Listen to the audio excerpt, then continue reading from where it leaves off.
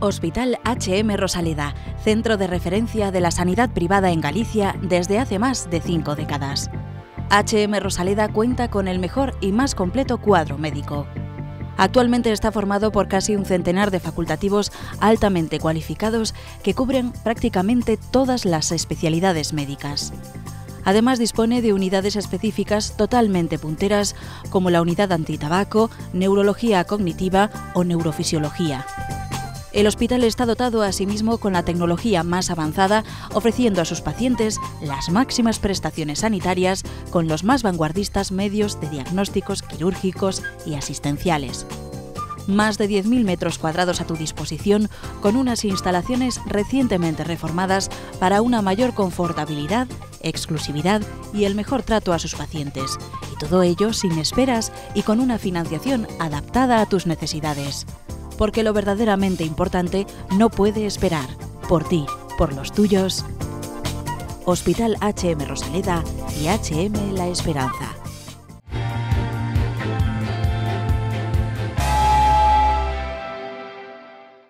Recientemente el presidente de Estados Unidos, Donald Trump, ha decidido, bueno, pues unilateralmente, como suele hacer eh, siempre, que pizzas hamburguesas y patatas fritas vuelvan a los comedores escolares.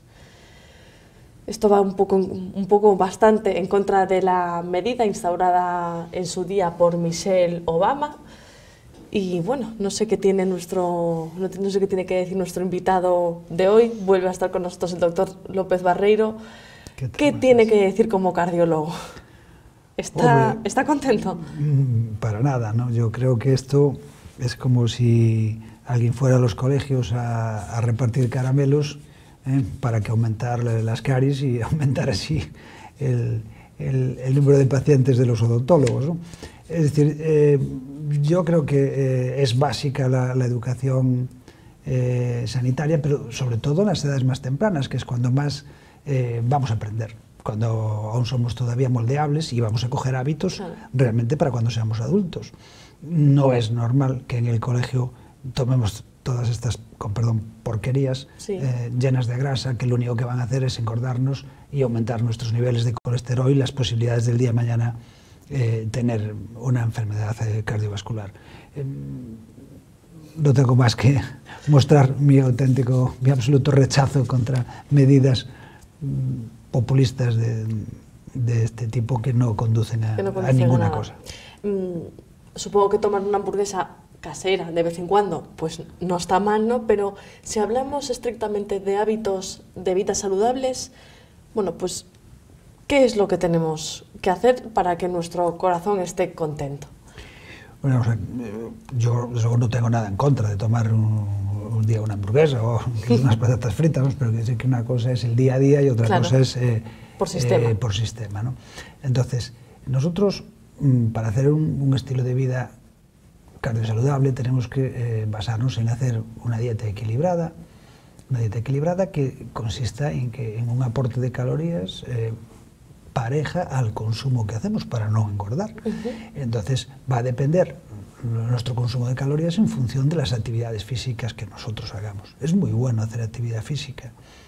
Eh, hay muchos sistemas que miden el número de pasos, etcétera y tal, pero bueno, eh, yo creo que eso por encima de los 10.000 pasos sería lo ideal. Lo que sí eh, sería bueno es hacer la actividad física por lo menos cinco días a la semana, evitar un poco el, eh, el deporte ese extremo de fin de semana y una vida sedentaria el resto del tiempo. Yo creo que eso no lo compensa.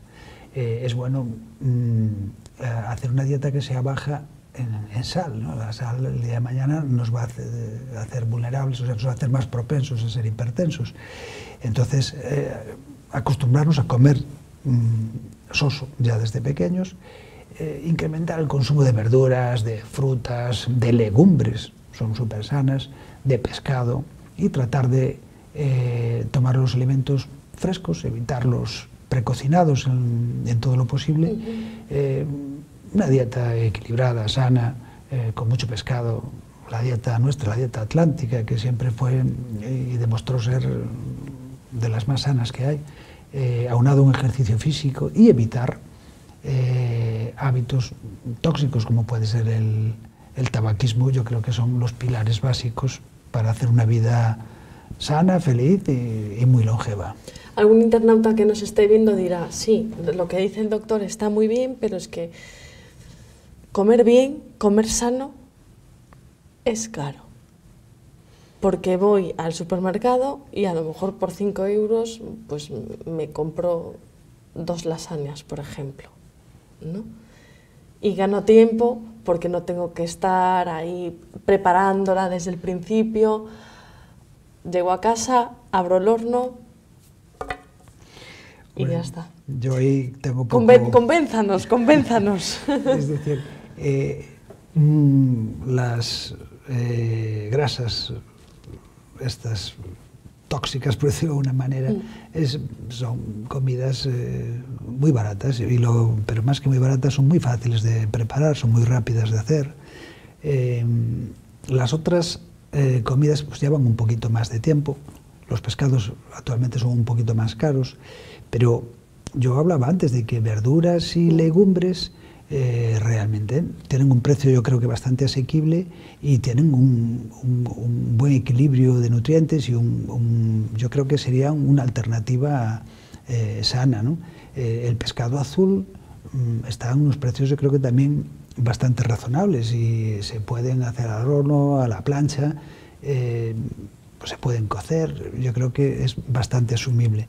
Eh, lo que pasa que nosotros igual por publicidad, por series de americanas, películas, no sé, Sí. el inconsciente a veces, bueno, o, o publicidades de tiendas de, de comidas como McDonald's o cosas así, pues bueno, al final Que siempre están llenos de gente, además. al final eh, eh, nos enganchan y, y- o por los hijos o porque regalan un payasito o cualquier cosa, pues al final Sí. acabamos yendo todos a sitios así que no, no son los más adecuados. ¿no?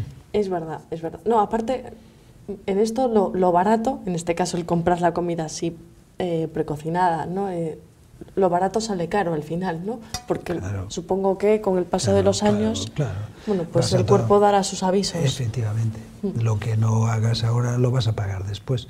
Entonces, eh, yo creo que eso eh, habría que aprender otro tipo de, de recetas, pero yo creo que se podría asumir perfectamente. ¿Y qué pasa con la tensión emocional? Eh, ¿Nos influye mucho y, y de forma negativa para llevar una vida cardio saludable? Hombre, eh, eso es quizás eh, lo más difícil de prevenir, ¿no? Porque eh, la vida cada vez nos exige más rapidez, ¿no? sí, vemos andamos esta chica, todos ¿no? Que está saturada, ¿no? Y- más estresados todos, ¿no? Y realmente esto, pero esto también hace que comamos mal, porque de- podemos tener menos tiempo para una comida, menos tiempo para la sobremesa o para una conversación pausada y tranquila. Vamos corriendo a todas partes, no podemos ir andando porque tenemos que llegar rápido, ya tenemos que coger el coche. Entonces, todas estas cosas al final eh, condicionan un estilo de vida que no es ni permite disfrutar ni de la vida ni de Claro. ni de estar tranquilos, les robamos horas al Sí. sueño. Sí. Estas enfermedades muchas veces tienen relación con, con- con determinados tipos de, de cardiopatía isquémica, eh, muchas veces con enfermedades no, no obstructivas en el corazón, pero sí de vasospasmo de, o otro tipo de, de cardiopatía isquémica. Eh, lógicamente van a elevar el- las cifras de tensión arterial y, y, por otro lado yo creo que es un conjunto, ¿no? El que está inquieto, está intranquilo, pues va a hacer muchas otras menos cosas que sean cardiosaludables, ¿no? Eh, leía recientemente que investigadores de la Universidad de Cambridge, en Reino Unido, concluyen que aspectos como incorporarse a la vida laboral o tener hijos se asocia con una reducción en los niveles de actividad física y un aumento de peso. Eh, ¿Así a bote pronto? Bueno, decir, eh, yo he de decir ¿Qué que- diría? Que, en contra de esto, yo conozco varios estudios que dicen que los, eh, las personas casadas Sí. eh, tienen mayor esperanza de vida que las solteras. Ah, sí, cierto. Entonces eso va un poco en contra de lo que me estás diciendo. ¿Qué, qué ocurre? Que una persona, bueno, pues cuando tiene que trabajar, pues si tiene un trabajo sedentario, como nos pasa a nosotros, pues vas a estar 7 o 8 horas sentado en una silla o, bueno, subiendo un piso en el hospital o en el centro de trabajo. Pero eh, nosotros, al dedicarle tiempo pues, a recoger en el colegio a los niños o a llevarles actividades, pues bueno, es tiempo que probablemente vamos a perder eh, de nosotros. Y entonces eh, vamos a tener menos tiempo para hacer actividades físicas nuestras o otras actividades al aire libre, vamos a estar como más atados. Y al mismo tiempo, mm, como lo, tenemos todavía la costumbre esa de que los niños pues coman pues fritos o cosas que, le, que, le, gustan, pues yo creo que al final... Y... y... patatas fritas, y las salchichas, los huevos fritos, etcétera. Entonces yo creo que un poco basándonos en eso y, para no hacer dos comidas, al final acabamos comiendo nosotros parte de estas, de estas cosas. Pero yo creo que eso es un poco utópico y que nosotros podemos hacerlo bien y podemos enseñar, podemos no, debemos enseñar a nuestros hijos a comer bien ya desde pequeños, ¿no? Claro que sí. Y de paso, ¿qué haces las lentejas? Sí. Estas con verduritas y saludables. Las vegetales. las vegetales para para dos personas, pues las haces para cuatro. Y, ya está, y, es más rentable. Sí, sí. Eh, actualmente, gracias al desarrollo de, la tecnología y de la transformación digital en el que está inmerso ¿no? el mundo sanitario, existe la, posibilidad de poder remitir o enviar pues, nuestras constantes al, especialista. ¿no? Em, yo conozco además un, caso de, una persona pues, que, estaba de vacaciones en, Maldivas y, tenía un dispositivo eh, electrónico y notaba algo raro, se puso en contacto con, su médico y efectivamente pues le... Detectó una arritmia. Sí, exacto. Eso. Hombre, estos relojes, yo creo que estás hablando, bueno, hay varios, es el que está testado y aprobado por la FDA es el, de Apple, el Apple Watch. Yo no estoy aquí para hacer publicidad de nadie, pero bueno, quiere decir que eh, hay eh, relojes que son capaces de discriminar y medir eh, arritmias. ¿no? Entonces, una de las arritmias más frecuentes, que es la fibrilación auricular, es una arritmia que tiene un riesgo de producir coágulos dentro del corazón y producir una embolia. entonces, el diagnosticarla mm, a tiempo es importante porque son intermitentes, entonces puedes llegar al, médico, te ve, en ese momento estás bien, pero la has tenido ya previamente y entonces estos dispositivos son muy sensibles, es decir, van a detectar muchos posibles arritmias, aunque algunas no hayan sido, pero, o sea, decir, tienen una especificidad baja, pero son muy sensibles. Entonces, esto ellos lo mandan eh, con sus telemetrías o vía, bueno, Bluetooth, Wi-Fi o lo que sea, lo envían a un centro que después puede reenviarlo a su vez al médico responsable de, ese, paciente y, lógicamente, iniciar los tratamientos y, eh, y podrían prevenir, lógicamente, un evento como una embolia que sería muy dramático. ¿no? es, fantástico, es fantástico. Y yo me pregunto, ¿la dieta tiene fecha de caducidad? Y no estoy hablando de dieta para perder eh, 3 kilos por la operación bikini, no. Hablo de una dieta bueno, pues eh, cardio saludable. Yo creo que tiene que ser para toda la vida. Para toda la vida. Pero uno no pasa hambre, ¿verdad? Qué va, qué va, no. Yo creo que no. Es más, yo creo que cuando uno está acostumbrado a comer bien, a comer variado, a comer un poquito de todo, lo puede hacer perfectamente eh, toda la vida. Hombre, pues si vienen las navidades y engordas uno o dos kilos o en vacaciones, después lo puedes corregir siendo un poquito más estricto al principio, de, después de ese periodo vacacional, por decirlo de una manera, y corregirlo y volver otra vez a, estar en forma y en un peso ideal. Mm. Pues ya saben, tenemos todos que apuntarnos a una dieta cardiosaludable para poder vivir más y sobre todo mejor. Mejor. Que eso es lo, más, importante. Es lo más importante.